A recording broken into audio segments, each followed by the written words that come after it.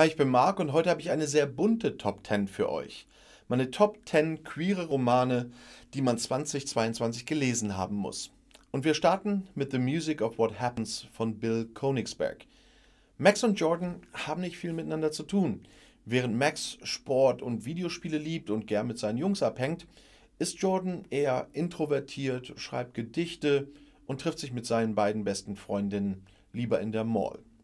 Erst als sie gemeinsam im alten Foodtruck von Jordans Vater arbeiten, lernen sie sich besser kennen.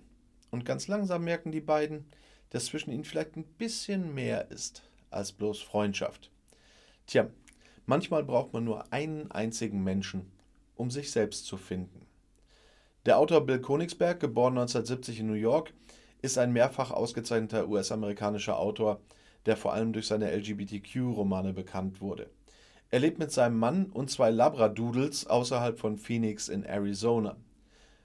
The Music of What Happens ist sein Debüt im One Verlag. Und weiter geht's mit Bitten by Mistake von Annabel Jacobs. Von Feindseligkeit zu sengender Leidenschaft innerhalb eines Mondzykluses. Aber kann so eine Verbindung überleben?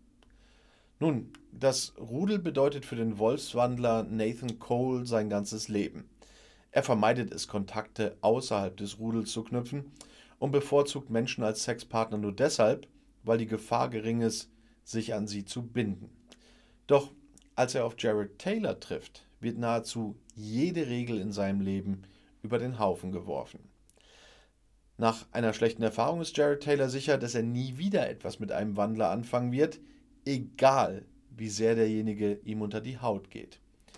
Und obwohl er Nathan extrem heiß findet, kann er ihn nur als arroganten, dominanten Bastard sehen. Ein katastrophaler Fehler zwingt Nathan und Jared aber dazu, bis zum nächsten Vollmond in der Nähe des anderen zu bleiben. Und es dauert nicht lange, bis sie die starke Anziehung, die zwischen ihnen besteht, einfach nicht mehr ignorieren können.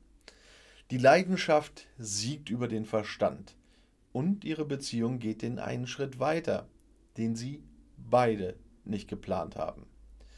Doch wenn der nächste Vollmond kommt, könnte sich alles schon wieder ändern.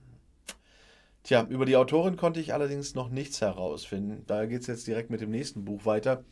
Blue Boy Bullet von Garrett Lee. Levy Ramone hat nur aus einem einzigen Grund angefangen, im Porno-Business zu arbeiten. Er musste Geld verdienen, um die horrenden Spielschulden seiner Mutter zu bezahlen. Nach sieben Jahren ist er mittlerweile ja, ein, ein Veteran im Pornogeschäft, bekannt als einer der rücksichtslosesten Tops der Blue Boy Studios. Aber das ist, bis sein Boss ihn anspricht, dass es Zeit ist, mal etwas Neues zu zeigen. Und hier kommt dann Sunny Valentine ins Spiel, einer der Tänzer im Silvers. Ein Mann, den Levy übrigens schon seit Jahren heimlich begehrt. Und soll, nun soll ausgerechnet der der dritte Mann in einer Szene sein, die für Levy einen Albtraum darstellt. Aber die Dinge könnten kaum schlechter laufen, oder? Hm, naja. Garrett Lee ist ein preisgekrönter britischer Autor, Coverkünstler und Buchdesigner. Ihr Debütroman, Debütroman Slide wurde bei den Rainbow Book Awards 2014 als bestes bisexuelles Debüt ausgezeichnet und ihr polyamoröser Roman Misfits war Finalist bei den Lambda Awards 2016. 2017 war sie mit Rented Heart erneut Finalistin und 2017 gewann sie mit ihrem Militärroman Between Ghosts den Epic Award in Contemporary Romance und mit dem Roman What Remains die Kategorie Contemporary Romance bei den Bisexual Book Awards. Weiter geht's jetzt mit Kompromittiert von Ethan Stone. Officer Daniel Kascherov ist Single, schwul und arbeitet in einem Hochsicherheitsgefängnis. Na, nicht der beste Job, um geoutet zu sein, oder? Nach schlechten Erfahrungen in einer vergangenen Beziehung würde er sich gern wieder verlieben, glaubt aber nicht dran, dass das jetzt so bald passieren wird. Mit, mit Zane Davis zusammenzuarbeiten, stellt aber Cashs Leben dann auf den Kopf. Sie sind erst Kollegen, werden dann Freunde und lassen sich schließlich auf ein Verhältnis ein, aber ihre Beziehung ist jetzt weit davon entfernt, perfekt zu sein. Und während er sich mit seinen Beziehungsproblemen rumschlägt, freundet Cash sich auch mit einem Häftling namens Cody Ivy an. Persönliche Nähe zu einem Insassen verstößt übrigens gegen die Regeln, aber Cash ist von der Unschuld des jungen Mannes überzeugt. Und schon bald engagiert er sich dafür, diese zu beweisen, selbst als er dadurch sein eigenes Leben gefährdet. Und alles, was ich über diesen Autor herausfinden konnte, war, dass er in Salem in Oregon in den Vereinigten Staaten geboren ist. Das ist aber auch leider alles. Aber es geht ja direkt weiter mit Gay for Pay von T.M. Smith. Eine Nacht, ein Fehler verändert alles, das hat man ja schon mal gehört. Und Chris Allen Roberts verliert alles, was ihm irgendwas bedeutet hat. Seine Freundin, eine vielversprechende Zukunft als Footballspieler, ein Stipendium, seine Familie. Nur sein bester Freund Michael gibt ihm noch Halt. Und Chris zieht dann mit Michael und dessen Partner nach New York. Und dort findet er durch Zufall ein Jobangebot beim Erotiklabel All Cox. Naja, Geld ist Geld, denkt Chris. Und wie hart kann es schon sein, einen anderen Mann zu vögeln? Lincoln Carter ist einer der Stars bei All Cox. Und als er die Neuentdeckung Chris zum ersten Mal sieht, will er nichts mehr als eine Szene mit ihm drehen. Doch ihm wird dann ganz schnell klar, dass Chris gay for pay ist und dass einer in seiner Vergangenheit ein düsteres Verheimnis hat, äh, Geheimnis hat, das es Chris unmöglich macht, sich für irgendjemand zu öffnen. Oder etwa doch nicht? Naja. Die Autorin ist ein Militärgehör, geboren und aufgewachsen in Fort Benning in Georgia. Und Smith ist ein begeisterter Leser, der zufälligerweise süße und sexy Schwulenromane schreibt. Sie ist eine Texas-Transplantation und nennt Justin Texas jetzt ihr Zuhause. Smith ist eine alleinerziehende Mutter von drei verstörend offenen und ausgesprochen unterschiedlichen Kindern, von denen eines autistisch ist. Neben ihrem Schreiben setzt sie sich leidenschaftlich für Autismus und LGBT-Rechte ein, denn, wie sagt sie so schön im Ernst, Liebe ist Liebe. Ne? Und weiter geht's mit Fake Out Home Run für zwei von Eden Finlay. Es gibt einen einfachen Grund, warum ich nur selten nach Hause fahre. Ich bin ein Lügner, heißt es in dem Buch. Maddox O'Shea sitzt in der Klemme. Und mit der Heirat seiner Highschool-Freundin zu entgehen, hat er einfach mal behauptet, schwul zu sein. Und jetzt, fünf Jahre später, ist er zur Hochzeit seiner Ex eingeladen mit seinem Freund. Doch den gibt's ja gar nicht, denn Maddox ist ja heterosexuell. Also muss ein Alibi-Freund her. Nur widerwillig lässt sich dann Damon King von seiner Schwester dazu überreden, den Partner von Maddox zu spielen. Aber wie heißt das so schön, eine Hand wäscht die andere. Und Maddox kann mit seinen Beziehungen Damons Karriere als angehender Spieleragent mal richtig in Schwung bringen. Und außerdem 48 Stunden Pseudopaar, wie schwer kann das schon sein? Doch die Scharade hat ungeahnte Folgen und die beiden müssen sich fragen, warum sie einander nicht mehr aus dem Kopf gehen. Fakeout Home Run für zwei ist der erste Band der fünfteiligen Fake Boyfriends Reihe der Autorin Eden Finlay. Jedes Buch ist in sich abgeschlossen und kann auch als Einzeltitel gelesen werden, aber ich habe trotzdem den ersten rausgesucht. Denn um alle Nebengeschichten zu verfolgen, empfiehlt es sich nämlich, die Bände in der richtigen Reihenfolge zu lesen. Eden Finlay schreibt heitere Liebesromane voller Herz, die sich wunderbar für kleine Fluchten aus dem Alltag eignen. Ihre Bücher entstehen meist aus irgendeiner total verrückten Idee. Ursprünglich schrieb Eden auch in vielen anderen Genres, doch seit 2018 hat sie in der Gay Romance ihr Zuhause gefunden. Eden lebt mit ihrem Ehemann und ihrem Sohn in Australien. Und da freut es mich dann noch in englischsprachigen Kanälen, habe ich da viele Fans aus Australien. Und weiter geht's jetzt mit Ein Dämon fürs Herz von Louisa Masters. Er arbeitet für Lucifer. Allerdings ist das weder so cool noch so satanisch, wie es klingt. Und ist auch nicht der coole Lucifer aus der Fernsehserie. Tatsächlich ist er aus Versehen in diesem Job bei der Community of Species Regierung gelandet. Und wenn man es genau nimmt, ist er als Büromanager nur ein besserer Babysitter, der eine Horde Shifter und Dämonenagenten im Zaum halten soll. Also keine leichte Aufgabe für ihn als einzigen Mensch im Team. Außerdem verbringt er sehr viel Zeit damit, Gideon Bailey aus dem Weg zu gehen, dem Dämon, mit dem er kurz vor seinem Arbeitsantritt bei der CSG zufällig mal im Bett gelandet ist. Doch der ist immer noch stinksauer auf ihn und er möchte sich jetzt nur ungern von dem ermorden lassen. Aber irgendwie müssen sie sich dann doch zusammenraufen, vor allem jetzt, wo immer wieder schwangere Frauen verschwinden. Es geht das Gerücht, dass jemand genetische Experimente mit ihnen durchführt und diesen Fall aufzuklären ist definitiv wichtiger als die sexuellen Spannungen zwischen Gideon und unserem Protagonisten. Doch dann passiert plötzlich etwas völlig Unerwartetes. Was es ist, findest du nur raus, wenn du das Buch liest.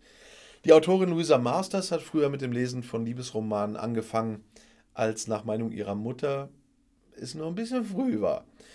Und während sich andere Teenager nachts aus dem Haus schlichen, schmuggelte Louisa tagsüber Liebesromane rein. Und als Erwachsene wollte sie erst einmal einen vernünftigen Beruf ergreifen und hat dann als Buchverkäuferin im Personalwesen, im Ressourcenmanagement, in der Verwaltung oder auch als Reisekauffrau gearbeitet. Inzwischen hat sie aber ihre Leidenschaft, das Lesen und Schreiben von Unterhaltungsromanen, dann doch zu ihrem Beruf gemacht.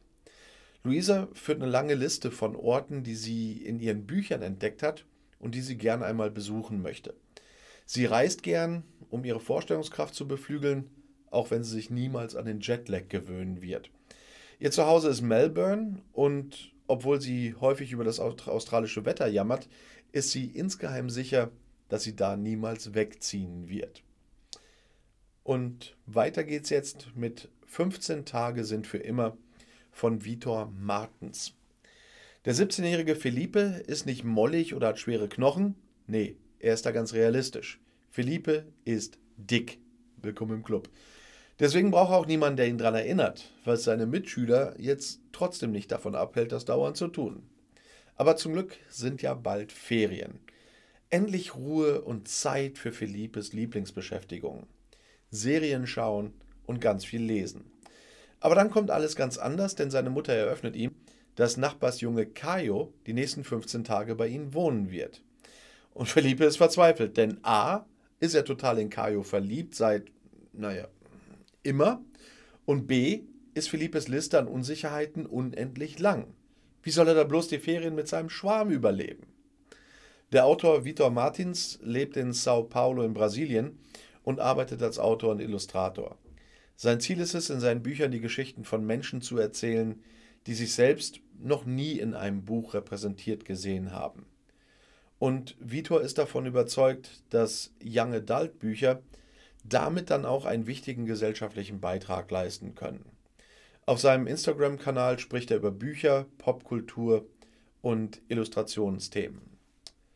Und weiter geht's mit Omega erforderlich von Dessa Lux. Der Alpha-Werwolf Bo Jeffries geht seine eigenen Wege, nachdem er als Teenager aus seinem Rudel verwiesen wurde, weil er einem Menschen geholfen und damit die Geheimnisse des Rudels gefährdet hatte in einer Zeit, in der die Menschheit die Wahrheit über die Existenz der Werwölfe ja erst noch lernen musste. Und jetzt soll er der erste Werwolf sein, der in einem speziellen Programm seine Zeit als Assistenzarzt absolvieren darf. Doch für ihn gelten Regeln, denn ohne Rudelzugehörigkeit muss er verheiratet sein.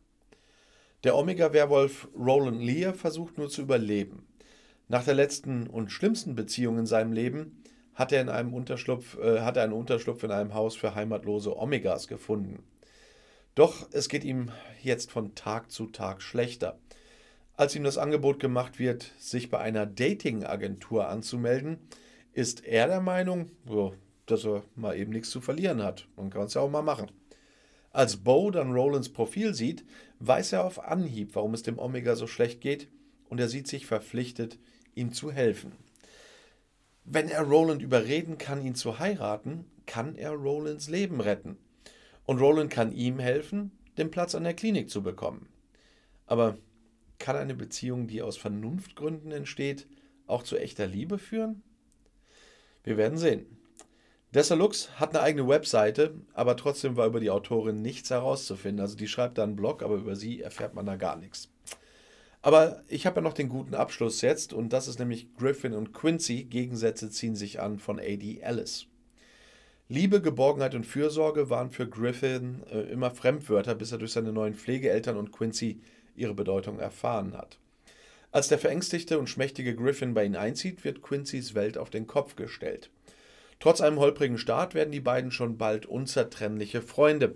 Die Pubertät offenbart jedoch eine unerwartete Anziehung zwischen den beiden, die während der Highschool immer intensiver wird. Ist es die ungezwungene College-Zeit wert, zehn Jahre Freundschaft aufs Spiel zu setzen? Oder besteht sogar die Chance auf was viel Besseres? Und die Autorin ist die Mutter von zwei Teenagern, gele äh, gelernte Lehrerin und hat in den letzten sieben Jahren über 50 Bücher geschrieben. Sie lebt in Indiana in den USA und lehrt in, Indiana, in Indianapolis. Sie hat ihr erstes Buch 2013 geschrieben und 2014 veröffentlicht. Und ich mache jetzt auf diesem Kanal ein paar ganz kleine Änderungen, damit ähm, ihr nicht immer so ganz lang warten müsst und vielleicht, äh, weil ich habe jetzt mal ein bisschen mit Shorts rumexperimentiert auf anderen Kanälen und dachte mir, das ist auch was hierfür. Und deswegen gibt es jetzt bald auch ähm, Buchempfehlungen in 60 Sekunden, wo ich euch einfach mal einen Schnelldurchlauf gebe.